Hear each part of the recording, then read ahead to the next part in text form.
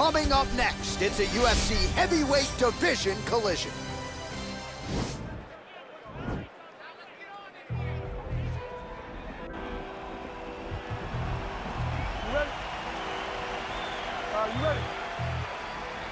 Well, the tension is palpable as this fight gets underway, and it's going to be interesting to see how this matchup plays out.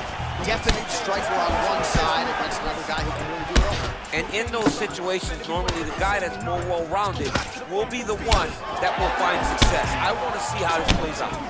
Oh!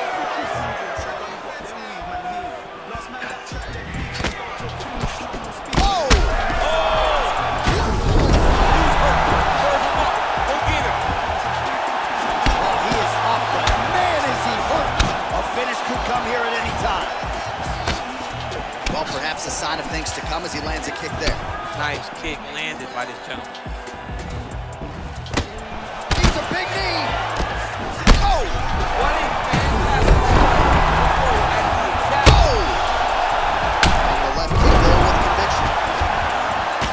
Oh, he gets up. The question is for how long?